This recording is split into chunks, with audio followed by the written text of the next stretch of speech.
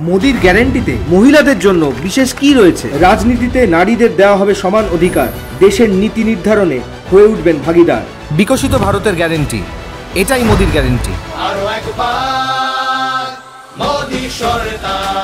পদ্মফুল চিহ্নে বোতাম টিপুন। বিজেপিকে জয়ী করুন।